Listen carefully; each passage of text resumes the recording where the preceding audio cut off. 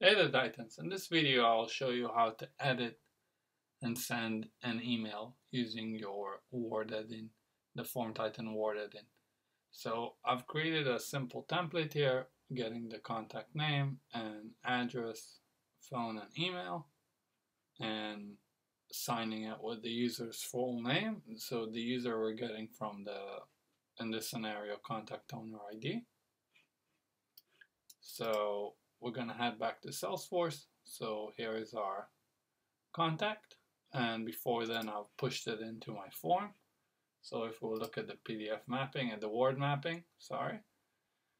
So we have here the Salesforce button configured. So it'll work with our um, um, Form Titan package. And I've loaded some org-wide emails so I can send through uh, these org-wide email addresses in Salesforce and I've set up a custom file name. So it's the full name of the contact and uh, some uh, Modstamp. And let's see how it does. So I'll click the FT generate document and this comes um, out of the box with the Form Titan package. So I'm clicking the FT generate document and I'll click this new button, edit and send. And what this will do, it will download the, the Word into my computer and I'll click to open it. So we can see that everything is loaded. Um, all the mappings are there. And now I want to edit the Word and add some things here. And we can uh, style it with Word. And now we're going to head to our Form Titan add-in.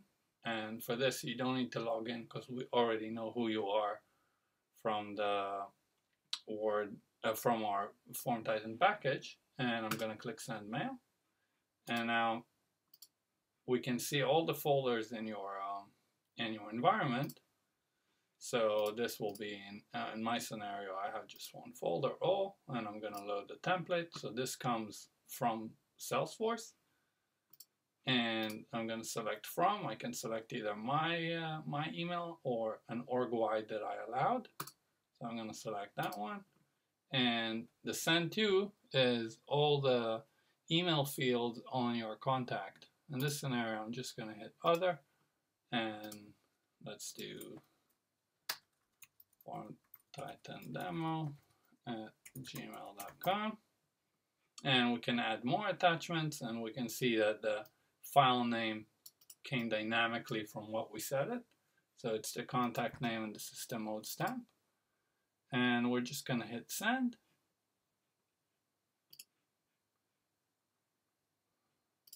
Alright let's take a look at our email